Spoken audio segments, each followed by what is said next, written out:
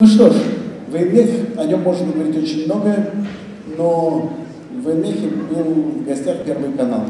И я предлагаю вам сейчас посмотреть все то, что здесь было отснято.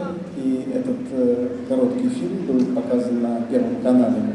Э, наверное, мало высших учебных заведений, которые удостаиваются такого количества времени на Первом канале.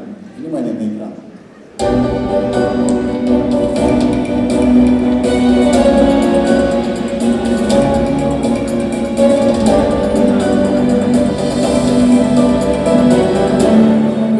Видов ракет в качестве учебного материала представлена здесь, в Балтийском государственном техническом университете военмех. Этот вуз готовит специалистов широкого профиля, которые могут применять свои знания в разных сферах, но в первую очередь в оборонной промышленности. И одна из главных задач учебного учреждений – это интеграция военного и гражданского образования. Доброе утро на Первом канале включения из Петербурга. Про этот вуз можно смело сказать, он стоит на защите Отечества, но скорее не на передовой, а в тылу. Здесь готовят не просто будущих защитников Родины, а тех, на чьих плечах будет лежать ответственность за вооружение страны.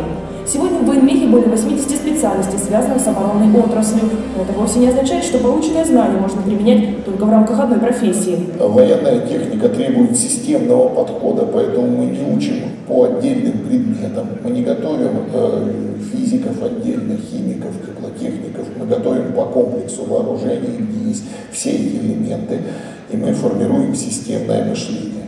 То есть мы готовим конструкторов, технологов, эксплуатационщиков, специалистов по разработке, по расчету элементов. Сам университет преемник традиций технического образования, сложившихся еще в царской России. В 1875 году в этих стенах было основано ремесленное училище цесаревича Николая. Почетным попечителем являлся сам император Александр III. Годы блокады в мастерских университета делали оружие и боеприпасы. В 1984 ВУЗ получил имя Дмитрия Федоровича Устинова, выпускника Героя Советского Союза, который возглавлял оборонную промышленность до, во время и после Великой Отечественной войны. Он здесь бывал несколько раз. И э, после, в 1946 году, под его началом, по его направлению, ну, как бы на требование была организована кафедра ракетостроения. Это кафедра номер один, которая сейчас действует. И эта кафедра готовит там не только ракетчиков, но и космонавтов. Гречка, Борисенко, Крикалев, Иванова – эти фамилии почитаются особо. Здесь есть не только фотографии выпускников, напрямую связанных с космосом, но и их личные вещи и даже изобретения.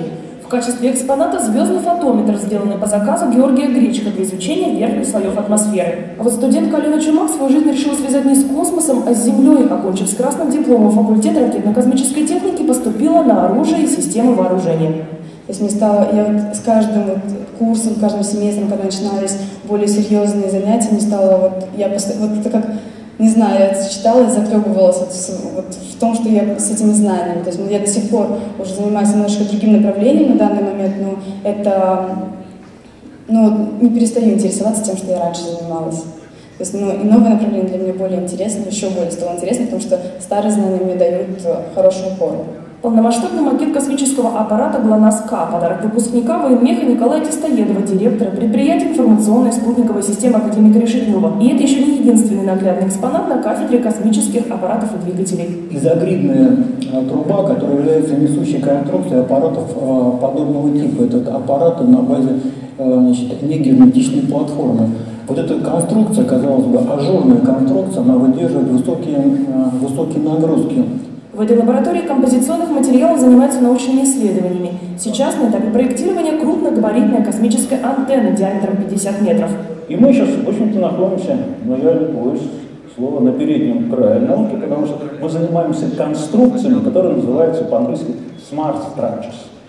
Умные конструкции, управляемые конструкции. И вот такие конструкции находят очень широкое применение, но, по крайней мере, есть, э, есть тенденция в космических аппаратах. Ну не только, в летательных аппаратах, вообще говоря, морской технике и так далее. В канун Дня защитника Отечества в Лемех посетила авиационная группа высшего пилотажа «Русские витязи». Летчики вспоминают, что их первое знакомство с будущими воздушными судами случилось именно в университете. Первый шаг в авиации у нас был, это вот потрогать что-то натурное. Наверняка здесь э, тот же самый процесс. У студентов, которые в будущем становятся специалистами, которые развивают нашу отечественную науку двигатели для самолетов на заводе имени Климова, зенитные ракетные системы и комплексы на концерне «Алмаз-Антей», артиллерийские установки на заводе «Арсенал». Вся эта и много другая оборонная продукция создается выпускниками военмеха, вузы которые воспитывали защитников Родины одинаково сильных и духом, и умом. Юлия Михайлова, Александр Дружинин, Валентина Говорушкина и Владимир.